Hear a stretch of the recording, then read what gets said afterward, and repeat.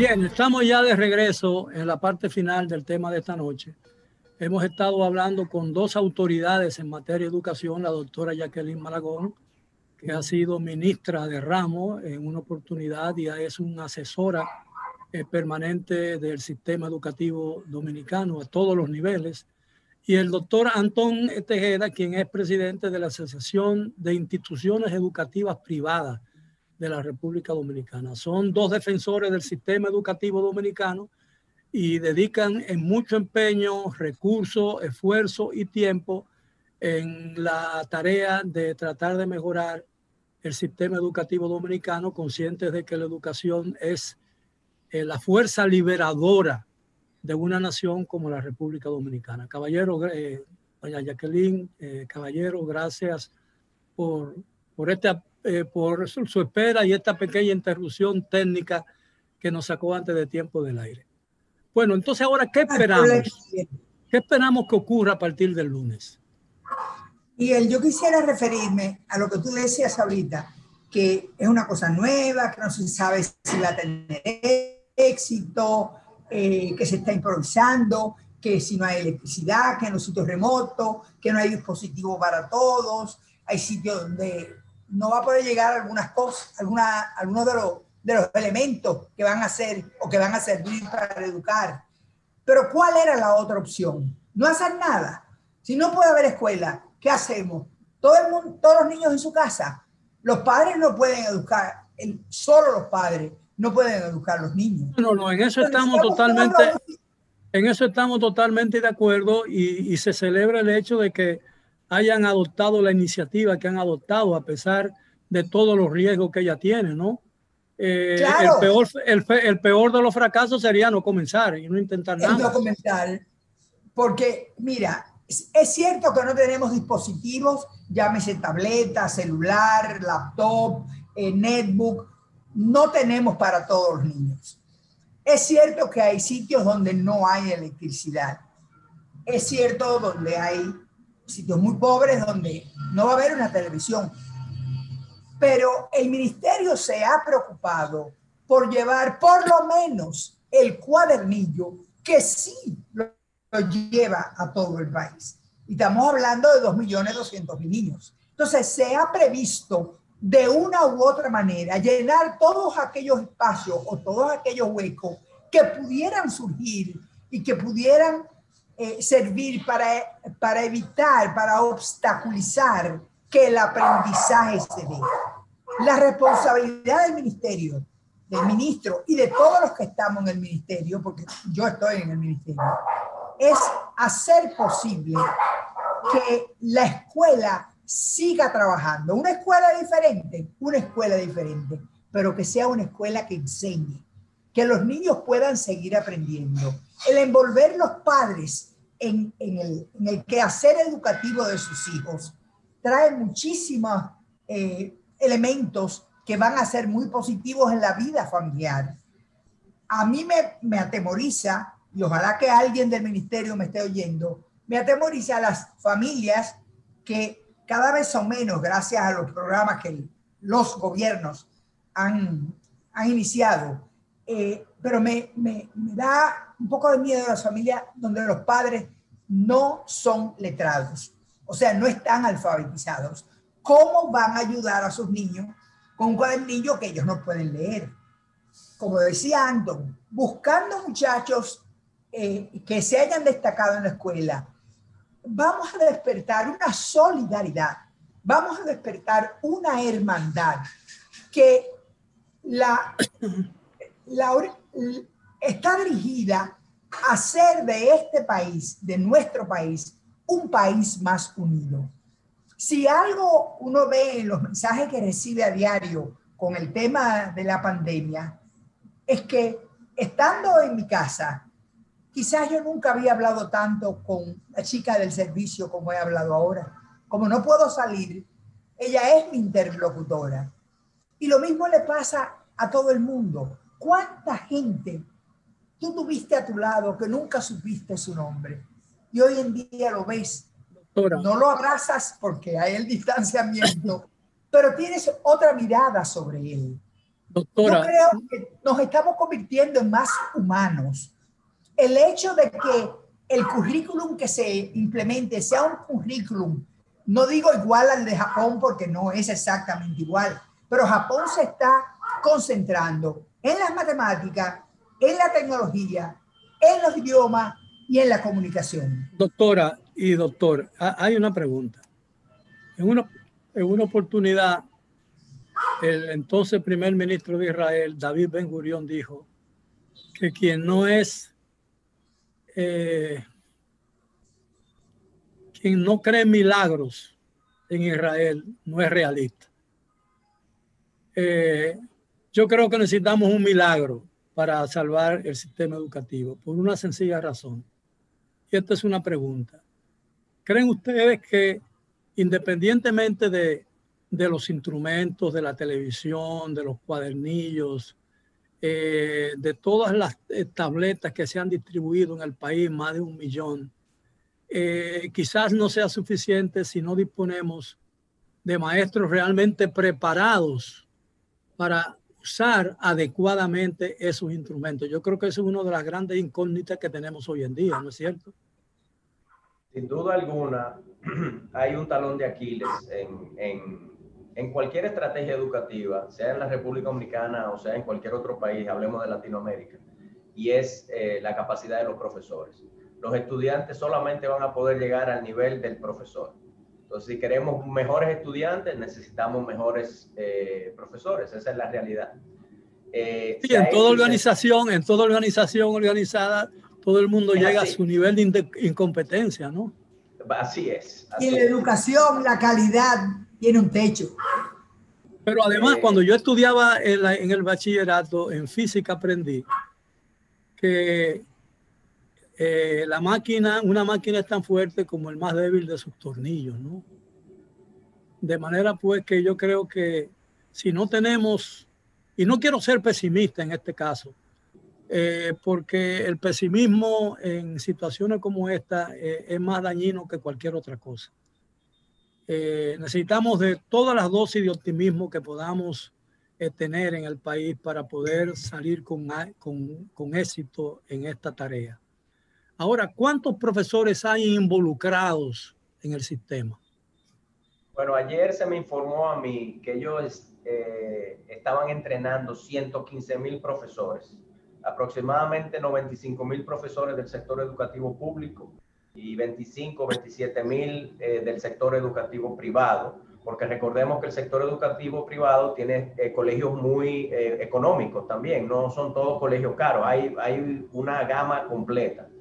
Eh, o sea que están haciendo un trabajo a través de Educa también eh, bastante fuerte para entrenar a los profesores. Ahora bien, Miguel, yo, yo quiero volver a lo que tú decías, o sea, yo no quiero ser pesimista tampoco, pero hay que ser muy realista. El problema es grave, el problema es complejo. Algo que a mí me da un poquito de optimismo es que no es una estrategia igual a la que siempre se ha seguido. O sea, literalmente se han desarrollado nuevas estrategias. Que esas estrategias fallen como quiera es otra, eso lo veremos y lo vamos a ver en los próximos meses. Eh, pero por lo menos ha habido un cambio y doña Jacqueline dijo algo que quiero eh, enfatizar. Se ha simplificado el currículo, que era algo que era necesario en la educación dominicana, sea presencial o sea virtual o sea a distancia. Y eso es muy importante. Entonces, yo he visto pinceladas de cambios que me dan un optimismo y, cedo la palabra a doña Jacqueline terminando diciendo lo siguiente. Yo creo que es muy importante que los televidentes tuyos entiendan que no es una estrategia educativa, es un plan educativo que va a ir eh, cambiando según se vaya viendo los resultados. Si vemos que la televisión es más efectiva que eh, la radio, pues entiendo que van a enfocar más a la televisión. Si logramos hacer los acuerdos con la telecomunicación para la conectividad llegue a más personas, bueno, se irá migrando hacia, hacia la virtualidad vía Internet. O sea que no creo que sea estático el plan. El plan va a ir. ¿Cuáles son, ¿Cuáles son las materias que van a estar privilegiadamente incluidas en el currículo? Básicamente lengua española, matemáticas, ciencias. Eso no puede variar. Eh, nosotros tenemos un problema serio que lo revelan no los resultados de PISA. Yo a veces pienso que no deberíamos estar en PISA, pero las pruebas diagnósticas que se hacen en República Dominicana, que están dirigidas por la doctora Ansel Shecker, que siempre digo que es un lujo para este país, se hizo doctora en evaluación en Estados Unidos, y los resultados de, esos, de esas pruebas nos deben preocupar a todos. Y en un momento como este, que se acaban de dar a conocer los resultados de la tercera, eh, del tercer nivel del, de secundaria, que es el noveno, ¿verdad, Anton? Antes. Correcto, correcto. El, nivel noveno. Nos sigue preocupando los bajos aprendizajes. Pero los bajos aprendizajes no son solamente una responsabilidad ni del gobierno, del maestro la escuela, ni del ministro, eh, ni de... Es que es una responsabilidad de la sociedad. Ustedes dirán, ¿qué tú estás haciendo? Yo no voy al ministerio. Cuando digo no voy, me refiero, no voy físicamente. Y la última vez que fui hace un par de meses tuve un accidente y hasta me operaron una pierna entrando al ministerio. Así que imagínense que ahora no puedo pasar por ahí. Pero me siento tan compenetrada con el ministerio que estoy permanentemente pensando en qué puedo hacer yo, que me siento maestra, para ayudar a que los educadores enseñen mejor, tengan buenas prácticas y ayudar para que los niños aprendan. Aprendan lecciones con aprendizajes significativos que tengan impacto en su vida futura. Yo ayer mismo eh, Anton lo conoce, pasé por, por Zoom un ciclo de 20 conferencias, traje de Estados Unidos, traje 10 personas, eh, bueno, las traje no, lo grabaron en Estados Unidos y 10 dominicanos, y buscamos una serie de áreas de, educativas donde podíamos identificar que había debilidades. Como yo sé que el ministro y todo el ministerio está en el tema de la, de la capacitación para el, para el maestro, como muy bien ha descrito Anton, pues yo no me iba a quedar atrás. Yo busqué la manera de cómo contribuir. Como no estoy en esa estructura, porque no pertenezco a, ese, a, ese, a esa, esa oficina, esa dirección, ese departamento, por mi propia cuenta, yo busco la manera de también ayudar a entrenar y eso debe, todo el que nos esté oyendo, todo el que tenga eh, un título de bachiller, yo no digo de doctor ni de ingeniero, no, El que tenga por lo menos un título de bachiller, el que sabe leer y escribir bien, el que sabe expresarse bien. Únete a esta jornada educativa. Vamos a hacer entre todos un éxito. Ese voluntariado necesitan. Ese voluntariado es muy importante, pero hay una falla estructural en el sistema educativo dominicano que no lo va a suplantar en un millón y dos millones de voluntarios en este proceso. Y es el hecho de que en los años 50 y en los años 60, después de la muerte de Trujillo y quizás en los años 70, el sistema educativo, el profesorado dominicano sufrió una transformación eh, comenzaron, comenzaron los, aquellos grandes maestros, perdimos maestros y contratamos en su lugar sindicalistas. Ese es el gran problema del sistema educativo dominicano y del ADP, que son gente que por cualquier eh, quítame esta paja se van a una huelga y abandonan la escuela y dejan a los estudiantes sin, sin, sin protección alguna. Eh, ojalá este, la responsabilidad que, que tienen que asumir en esta situación de crisis hoy en día, eh, quizás haga que mucha gente recapacite y vuelva a la escuela, profesores vuelvan a la escuela, porque la verdad es que eh, la ADP es un centro de discusión gremial, no es un centro de discusión de los temas básicos de la educación dominicana. Y eso lo sabemos todo el mundo, con ligeras excepciones y todo, y todo lo que se quiera, pero el problema es que parte del deterioro de la escuela pública dominicana, en parte se debe a que esa transformación que tuvimos una vez buenos profesores y terminaron siendo con el cambio de generación en sindicalistas, que le importa más el tema sindical y el tema gremial, que no deja de ser importante, yo digo, que el mismo tema de la escuela misma. Miguel, mi optimismo llega hasta tal punto que pensando, y no, no la conozco porque no me he sentado para hablar con ella, la presidente de la ADP, la licenciada o doctora Xiomara Guante, ha traído una, un lenguaje diferente al escenario educativo donde se desarrollan los profesores. No me refiero a ella, no, me refiero a ella y no me refiero a nadie en particular. Bueno, pero yo quiero decir que de dónde vienen mis esperanzas. Porque el propio Roberto Furcar fue un dirigente eh, sindical. Y Roberto fue un magnífico dirigente sindical porque yo lo conocí, fueron cuatro años que trabajó a mi lado. Entonces, yo puedo tener esperanza viendo que en la ADP está surgiendo, están surgiendo figuras que tienen una mirada diferente. No ha habido huelga en, los últimos, en el último año, no hubo huelga, Miguel. ¿eh? Doña Jacqueline, eh, los dirigentes de los dirigentes de la no van nunca a la escuela. No entiendo qué quieres decir porque no van nunca a la escuela. Porque son sindicalistas eh, y, no, y no tienen obligación con la escuela. Eh, porque tienen más obligaciones con el sindicato. Esa es una realidad. Eh, Don Miguel, yo creo que es importante. Mire, el, tema de, sindicalismo o no sindicalismo en los profesores no es un problema eh, únicamente de la República Dominicana, no es una situación, no es un reto que tenemos aquí. En Estados Unidos los sindicatos de profesores son extremadamente eh, fuertes y sin embargo el nivel de la educación es mejor. Yo creo que el enfoque no debe ser, en mi humilde opinión, no debe ser necesariamente el sindicalismo, sino es, es o no es efectivo, ayuda o no a la efectividad de la educación están o no en el aula, están dando las clases que tienen que dar, están cumpliendo con su deber. Para mí, si la ADP cumple con su deber, bueno, que siga siendo la ADP, no hay ningún problema. El tema es están o no cumpliendo.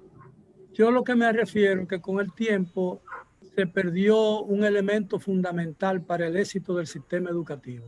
Eso no hay ninguna duda, don Miguel, pero, el, el que es el compromiso con la escuela. Yo, creo que eso es así. El con la escuela se ha perdido incluso en muchos hogares dominicanos. Eso que no es solamente un problema de la ADP.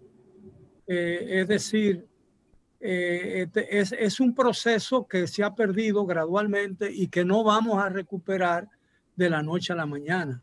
Quizás la crisis que enfrentemos ayuda a adelantar y acelerar el proceso pero de que, pero de que tenemos una ausencia eh, grande de compromiso con la escuela. Eh, para mí ese es el principal problema hoy, eh, el, el, fundamento de la crisis escolar dominicana. Mire, yo le voy a dar un ejemplo que parece sencillo. Cuando yo estaba en el segundo B, yo tenía una profesora de lengua española que era una señora pequeña, delgadita, muy débil, pero con un carácter muy fuerte que controlaba a pesar de su tamaño y a pesar de su, de su delgadez y del hecho de que hablaba muy bajito eh, y que parecía una persona sumamente débil, eh, tenía un, un, corazón inmenso y, con, y que controlaba a toda esa fiera que estábamos en el aula. Y yo recuerdo que una vez eh, sacó de, a varios estudiantes porque se paraban para ir al baño. Eh, llamaba a los estudiantes por su apellido. Señor Guerrero, señor Mejía, señor Rodríguez. Y en una oportunidad envía al señor Mejía que le dice, que le dice eh, profe, eh, porfa,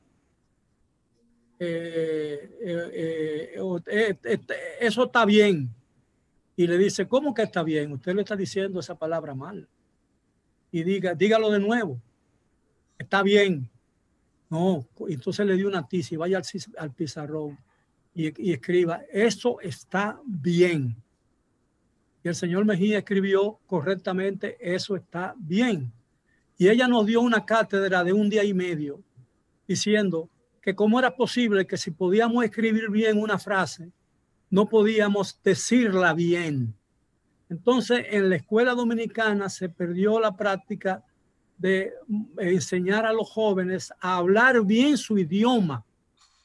Hablar bien su idioma es tan importante como conocerlo y como escribirlo bien, porque si no, tú no te haces entender con el contrario. Entonces, yo creo que esa es una de las fallas del sistema. Los profesores dominicanos de hoy en día no se preocupan por cosas que parecen tan sencillas, pero que son fundamentales en el aprendizaje de un idioma específicamente.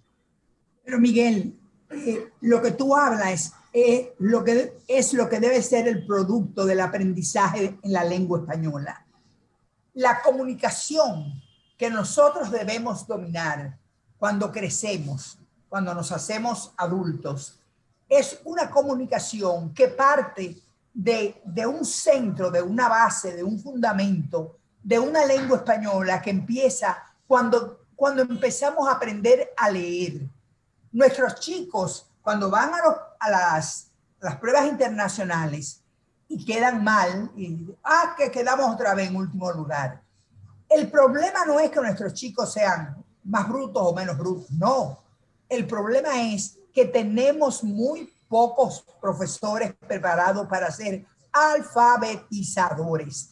Y si tú no alfabetizas para el primero y segundo año de primaria, difícilmente a lo largo de los próximos años, que son 10 años más de escolaridad, ese niño va a tener amor por el aprendizaje o por entonces, la lectura. No hay, entonces, no hay eh, entonces Jacqueline, estamos totalmente de acuerdo. Bueno, estamos totalmente de acuerdo en que hay que mejorar la enseñanza de la lengua española. Estamos, tenemos que estar totalmente de acuerdo en que los niños deben tener en las aulas libros de lectura. ¿Cómo van a amar la lectura si no hay un libro en un aula? Yo te pregunto, pero me gustaría volver al tema que, que tú decías de la ADP, por una experiencia que tuve en Washington hace seis o siete años yo conocí a la señora ministra de Educación de Finlandia en una reunión donde yo estaba invitada y en un momento me acerqué a ella y le dije... De Finlandia, dice, Finlandia. De Finlandia, Finlandia. Y le pregunto, doctora, de su país se habla con un éxito enorme en el sistema educativo. Los chicos de ustedes brillan en sus calificaciones en las pruebas internacionales. ¿A qué le debe usted, si pudiera decirme en una sola idea, en una sola palabra, en una sola frase, el éxito que ustedes tienen en el sistema educativo? Y la señora se quedó mirándome y se sonrió y me dijo, nuestros aliados son los miembros del sindicato de la educación. Y yo ahora veo que Roberto, que, es que era un líder sindical y que oigo a una Xiomara Aguante, que me encanta oírla hablar. Vi a un vicepresidente del ADP que hizo una presentación ayer y me quedé impresionada con la forma, con el manejo, el lenguaje, las ideas que daba, cómo se expresaba. Yo dije, bueno, esto puede ser diferente. Es posible que eso que nos falta, esa vinculación del maestro con el propósito de la escuela, venga con la propia ADP, con nuevos líderes, líderes que están pensando en que el momento es nuevo, en que la educación tiene que cambiar, en que ellos quieren mejores hijos y sus mejores hijos van a salir de una mejor escuela. Entonces sus miembros, 100 mil, 120 mil mencionó Anton, tienen que ser, tenemos que convertirlos en buenos maestros. Hace tres años, en la, la evaluación de desempeño de los maestros nos dejó muy triste, muy, muy triste. El país sabe, 2.9% salieron como excelentes.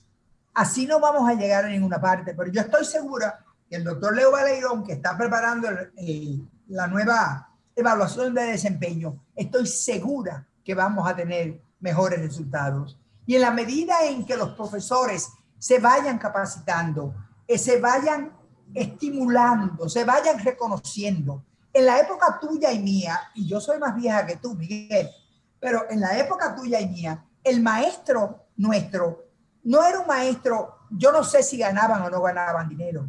Lo que yo sé que era la figura del barrio, la figura del pueblo, la figura de la ciudad. Era el hombre a quien se le consultaba, era el hombre que nos orientaba o la mujer. Y vemos que... Como, era como el médico de cabecera, ¿no? Era como el médico de cabecera. Yo lo que te puedo decir es que mis profesores fueron tan y tan y tan y tan buenos en la secundaria. Bueno, en la primaria eran monjas, porque estuve en, el, en Santiago, en el Colegio Sagrado Corazón. Pero en la secundaria, un colegio americano, y en la universidad, la, la universidad que hice aquí, no la que hice en Estados Unidos, esos maestros han sido honrados poniendo su nombre en escuelas, en calles, doctora, en palacios eh, Doctora, si hay una esperanza nacional que yo abrigo también, es que realmente haya un cambio de actitud en el profesorado eh, como consecuencia de la experiencia que estamos viviendo. Eh, y que la nueva generación que pueda ir surgiendo de profesores, que sustituya a aquellos que ya eh, y aportaron todo lo que tuvieron que aportar y que no pudieron aportar más porque no tenían capacidad para hacerlo. Que sean profesores que lleguen a la escuela con un profundo compromiso con ella eh, y que entiendan que realmente que de la educación, que el éxito de la educación, que sería el éxito del país, en gran medida será el éxito personal de cada uno de ellos. Yo no, yo no estoy diciendo que la presidenta de la ni sugiero que la presidenta de la, de la ADP y el ministro no sean las personas adecuadas para esas, para esas posiciones. Yo lo que digo es que tenemos un defecto estructural que viene de mucho tiempo, que va a ser muy difícil eh, mejorar de un día para otro. De todas maneras, yo lamento que el tiempo se nos haya agotado, eh, pero eh, me anticipo a invitarlo para el día que quieran, la semana que viene, para hacer una evaluación, si así se lo permite su propio tiempo, de cómo comenzó a marchar el sistema y qué podemos esperar de él en la medida que vaya avanzando. Así que espero que, que. Miguel, tú puedes contar conmigo y estoy segura que puedes contar con Anton. Pero yo quiero cerrar el programa en la invitación que tú me has hecho. Nos queda un minuto, nos queda un minuto solamente. Yo nada más voy a usar medio. Y es decirle al país que estamos a la puerta de la posibilidad de un cambio. Y esa posibilidad de un cambio se puede dar con excelencia a través de la educación. Si todos nos unimos y todos vemos ese compromiso que tú mismo mencionaste y que habla a Fulcar y que habla la señora doña Ligia, yo no conozco a esta gente, pero lo estoy oyendo hablar y estoy encantada con el lenguaje. Bien, bien, entonces eh, el tiempo se nos acabó, le estoy muy agradecido y los invito de nuevo y espero que acepten desde hoy para poder planificarlo, para estar de nuevo el viernes, para ver cómo nos va en la primera semana de este ensayo sin precedente en el sistema dominicano de educación. ¿Te parece? Yo el viernes que viene no puedo porque es un, es un fin de semana largo. ¿eh? Eh, bueno, con más facilidad. Eh, Me voy de la ciudad. Eh, bueno, pero para eso está en la computadora. Bueno, de todas formas, vamos a hacerlos para el jueves entonces. O el lunes de la semana que viene, o el lunes de la semana que viene. Yo creo que el lunes sería más apropiado para darle la semana completa. Bien, muchísimas gracias, señor eh, Tejeda, señor Jacqueline, siempre agradecido por, por toda la cooperación que tienes conmigo cuando discutimos esto y otros asuntos relacionados con el sistema educativo. Y a los amigos televidentes, gracias por estar con nosotros. Esperamos que el programa ha sido de su agrado y que hayan aprendido y que haya fortalecido en su impresión que todos compartimos de que la educación es la única manera de garantizarle a este país su avance hacia el futuro. Ha sido todo por hoy. Gracias por su atención. Les deseo un buen fin de semana a todos y los espero, como de costumbre, el lunes a la hora de siempre. Hasta entonces.